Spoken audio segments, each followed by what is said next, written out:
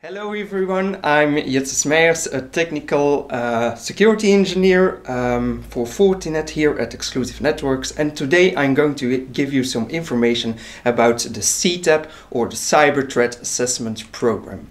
With Cyber Threat Assessment Program, um, you can close your deals more efficiently and you can show within your customer's network what the Fortinet products can mean for them.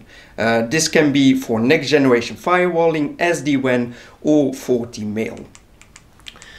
The program is carried out in three steps. So the first step is you're going to create an assessment on the CTAP portal from Fortinet and there you will find all the instructions on how to easily integrate the solution in a non-intrusive way in the customer's network.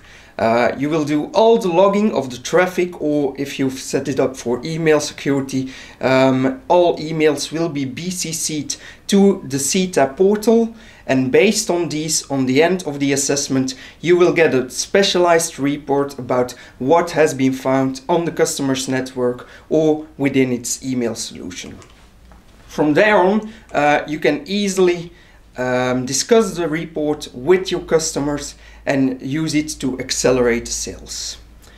How can you set it up? It's very easily um, just logging with your partner credentials on the CTAP portal, ctap.fortinet.com. Um, there you can select the right assessment type and there you go. It's as easy as, that, as this. Uh, you will find all the instructions. Uh, you upload the logs or you uh, dynamically let them upload to the CTAP portal um, and there you go um, and you will get a report from the CTAP portal which you can discuss.